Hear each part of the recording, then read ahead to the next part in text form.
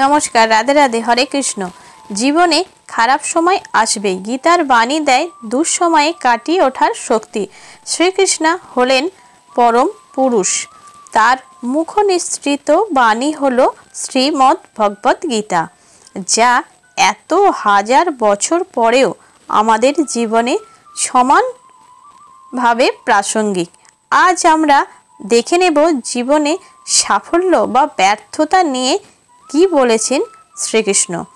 তিনি বলেছেন যে, সময় কখনো এক থাকে না, সেই মতো নিজেকে প্রস্তুত করে রাখা উচিত। শ্রীকৃষ্ণ গীতার মাধ্যমে জীবনের অনেক উপদেশ দিয়ে গিয়েছেন। শ্রীকৃষ্ণ হাজার হাজার বছর আগে এই উপদেশগুলি দিলেও সেগুলো আজও আমাদের জীবনে সমান মহাত্মাপূর্ণ। মহাভারতে কুরুক্ষেত্রের যুদ্ধে শুরুর ঠিক আগে নিজের আত্মীয় স্বজনের উপর অস্ত্র চালনা করতে অস্বীকার করে, অস্ত্র পরিত্যাগ করেন অর্জুন। তখন অর্জুনকে যে উপদেশ দিয়েছিলেন শ্রীকৃষ্ণ, তাই গীতার বাণী নামেই পরিচিত। গীতার বাণী সঠিকভাবে মেনে চলতে পারলে আমরা জীবনে সাফল্য লাভ করতে পারি এবং সব রকম প্রতিকূলতার সঙ্গে লড়াই করার শক্তি অর্জন করি। শ্রীমদ্ ভগবদ্গীতা আমাদের জীবদ্দশায় ও তার পরের অবস্থার জন্য সমানভাবে কার্যকরী। গীতার দর্শন আমাদের জীবনকে সঠিকভাবে চালনা করে।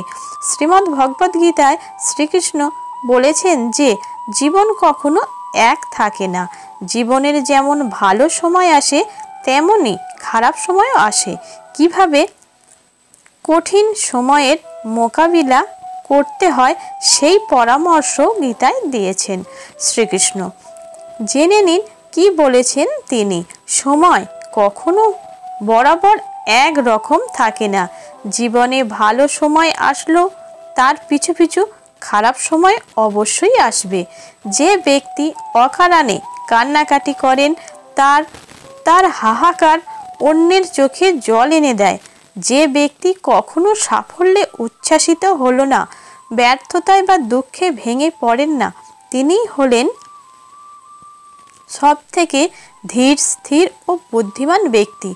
যে ব্যক্তি নিজের অহংকারে ডুবে থাকেন, তিনি কখনো সাফল্য লাভ করেন না।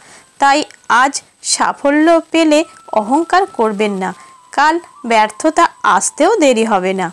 শ্রীকৃষ্ণ বলেছেন যে ব্যক্তি দুর্বল ও ভীতু সেই ভাগ্যের হাতে নিজেকে সমর্পণ করে বসে থাকেন। থাকেন। যিনি আত্মবিশ্বাসী ও শক্তিশালী তিনি কখনো ভাগ্যের উপর ভরসা করেন না।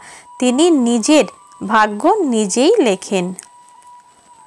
গীতায় বলা হয়েছে যে কখনো শুধু বাইরের চেহারা দেখে কোনো সিদ্ধান্ত নিও না কারণ ভগবান আমাদের বাইরেটা নয়, ভিতরটা দেখে বিচার করেন। শ্রীকৃষ্ণ বলেছেন, আপনি সুখে থাকবেন না দুঃখে থাকবেন? তা নির্ভর করে আপনার চিন্তার ওপর। আপনি সুখে থাকতে চাইলে সব সময় সুখেই থাকবেন। আর আপনি যদি আপনার মনে খারাপ চিন্তা নিয়ে আসেন, তাহলে দুঃখ আপনার পিছু ছাড়বে না।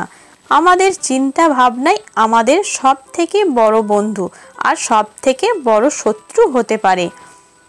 অন্য কারোর ভরসায় জীবনের পথ হাঁটবেন না। অন্যের ভরসায় এগোলে তা না আপনাকে আনন্দ দেবে আর না আপনাকে লক্ষ্যের কাছে পৌঁছাতে দেবে। নিজের উপর ভরসা করে জীবনের পথে এগিয়ে চলুন তাতেই মিলবে আনন্দ।